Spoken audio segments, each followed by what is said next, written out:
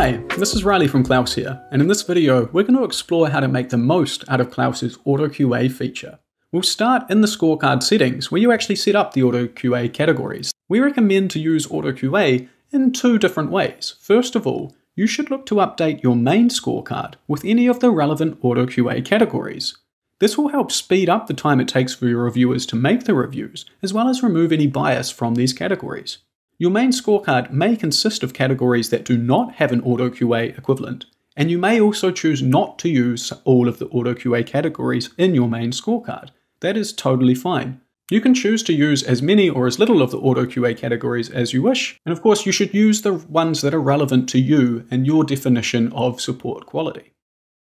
As you can see, my main scorecard consists of a mix of AutoQA categories such as greeting and empathy, as well as non-auto QA categories such as process adherence and product knowledge. This is because there are some categories and factions of my support that auto QA is not going to be able to grade for me. While it can detect if a solution was provided or not, the AI will not be able to determine if the agent followed your internal processes correctly. For that reason, it's important to keep some categories that only your human reviewers will be able to grade. Once you have updated your main scorecard with the relevant AutoQA categories, what we recommend is to actually create a second scorecard with all six of the AutoQA categories enabled, and you can label this scorecard as AutoQA like I have. The benefits of doing this means that all six AutoQA categories will be running in the background across 100% of your support volumes. This helps you identify trends and training needs of your team without impacting the internal quality score of your agents. One final tip on the category selection is if you don't normally use spelling and grammar in your main scorecard, consider adding it and making it weightless. This means that your agents will not actually be penalized for poor spelling and grammar. However, you can make use of the AutoQA feature, which highlights all of the spelling and grammatical errors throughout the conversation. This is a really useful training tool for your agents. Now that AutoQA is set up on its own scorecard with all six enabled, it means we can use the results of these to find more meaningful conversations.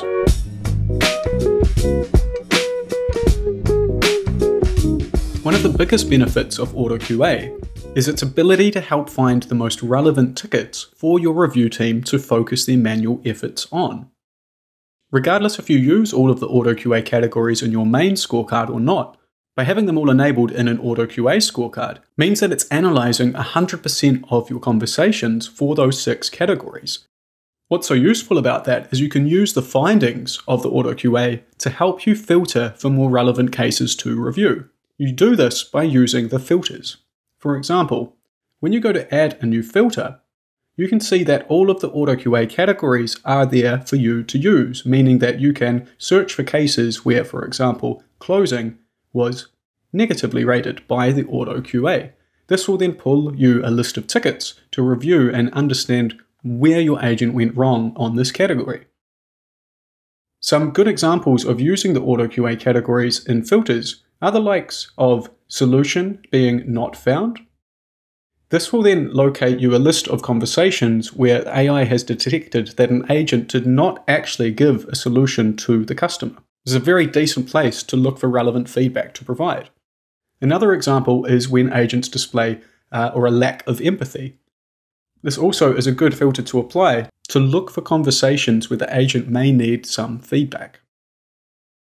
Combining filter options really helps you find those needle in the haystack cases, which will allow your review team to spend their time actually giving more relevant feedback to your agents. For example, when you combine the solution and sentiment filters together, such as that it's looking for conversations where a solution was offered and the customer sentiment was negative, we are now left with a list of conversations where a solution was offered, however, the customer was quite upset throughout the conversation. This can be worthwhile for your review team to explore as it can help uncover some process and even product deficits within your company. Another good filter combination that can uncover worthwhile feedback to give to your agents is one where you filter for the agent tone to be negative and for also for the customer to leave a poor CSAT rating. This can help find hyper relevant conversations for agent feedback. For example, I only have one conversation that fits that filter condition. However, it was super relevant for me to review this case, as the agent really did not perform well. You can combine any of Klaus's filters to find those super specific cases to review. You can make use of all of our auto QA filters as well as our other AI offerings, along with our default and custom field options that we've retrieved from your help desk. There really is almost an endless possibility of filter combinations you can apply to find those super relevant cases. No longer should you rely on a random sample of tickets to review, you should be dedicating your actual human manual efforts in cases that are worthwhile reviewing. That's how you make the most out of your QA program. And the good news is, is that all of those auto QA category options are available to use in your assignment conditions, meaning that you can automate the whole process and still have actionable, worthwhile cases to review every week. Your AutoQA dashboard tracks your team's performance across all six AutoQA categories for 100% of your ticket volumes. It is the best place to track trends over time and identify training needs of your team and individual agents.